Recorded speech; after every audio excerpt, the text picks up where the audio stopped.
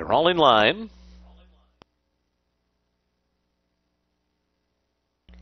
They're racing in the Fred Hooper. And off to a good even beginning here. Looking cool comes out running. Mosler also with early speed. Valid is close up to the pace as well. And Grand Shores fires through an opening on the inside along with Confrontation as the field races down the chute and toward the main track. And it's Grand Shores, Mosler, and Valid. And these three are across the track. Three and a half lengths back to Confrontation. Then to the outside, Purple Egg, Race Day in between horses. And then Midnight Cello to the inside. Alphabetters after that. And then Brothers of the time.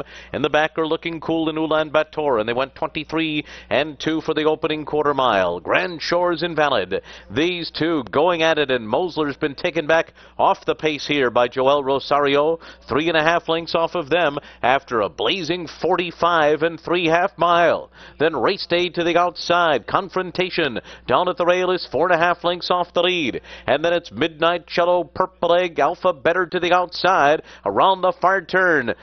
Valid dukes it out with Grand Shores, these two blazing along up front. Race Day comes after them now, two and a half lengths off the lead, and Confrontation's coming too. Three quarters in 109 and four. They're into the stretch. Grand Shores valid. Race Day and Confrontation trying to come and get them, but Grand Shores and Valid keep on going. Grand Shores valid. Race Day continues to close on the outside. Grand Shores on the inside. Valid. Race Day on the far outside. The three of them come to the line together and it will be valid to win it over Grand Shores and Race Day. Confrontation was fourth.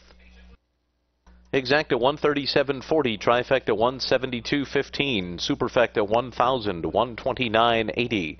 The double $38 even.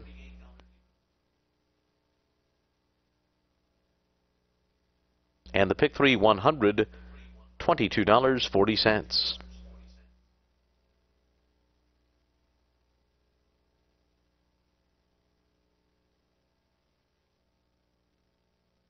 And ladies and gentlemen, also getting started now will be the $500,000 guaranteed cross-country pick four brought to you by ExpressBet. It starts right here with the Gulfstream Park Handicap.